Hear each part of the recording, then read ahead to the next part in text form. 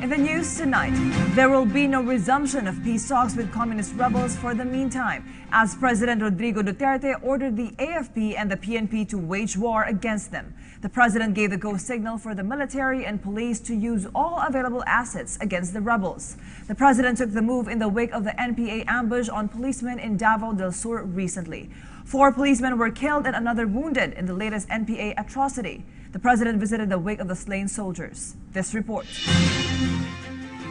President Rodrigo Duterte personally visited the wake of uh, PO1 Rolly Benelayo and PO3 Jayden May Rabor, two of the four policemen who died in an ambush yesterday here in Bansalan, Davao del Sur. PO1 Saro Mangotara was buried yesterday as per Muslim tradition, while the remains of PO1 Joe Narvasa was brought by his family to Kidapawan. The president says he is now ready to use all forces of government against the rebel group New People's Army. I would just also ask the armed forces and the police just go ahead and wage a war against them. Unya, uh, anything goes po mo. And I will uh, allow the police and the military this time to use uh, all available assets. Mito nilang na matay bagong mga aeroplano, mga jet. Makita ni mo na giinang kuman sila isuro na mga use them. President Duterte made clear that he has tried every means to reach out to the NPAs since the start of his administration.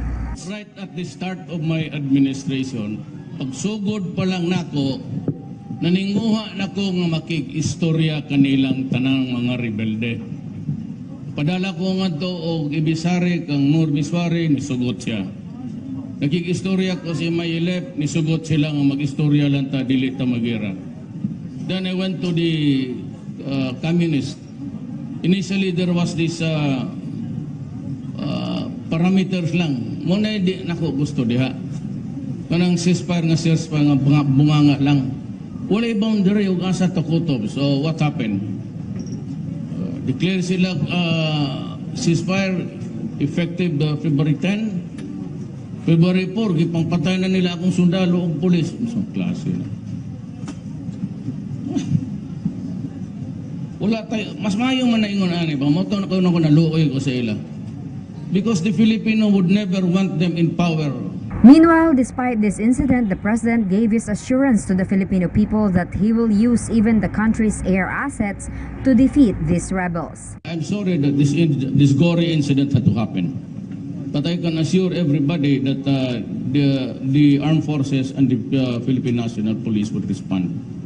This time I'm using the I'm using uh, everything.